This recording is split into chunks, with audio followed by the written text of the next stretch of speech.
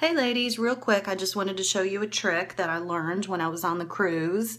We had a celebrity makeup artist on there and she showed us that when you have, like see how I've got a little black here that I accidentally dropped when I was doing my my liner?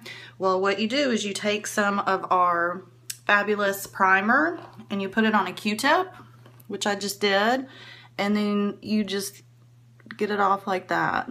So it really helps what she does it with is like when you want to make your line like perfectly straight under your eyes, you know, see how that's a little thicker and maybe you want it a little lighter.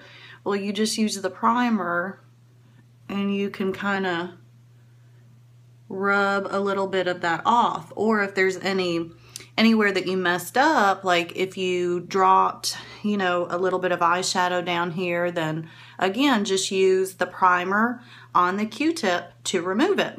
So anyway, I thought that was a fabulous, easy trick. And then of course, another great thing that comes from using the primer. So anyway, wanted to share it. Have a great day.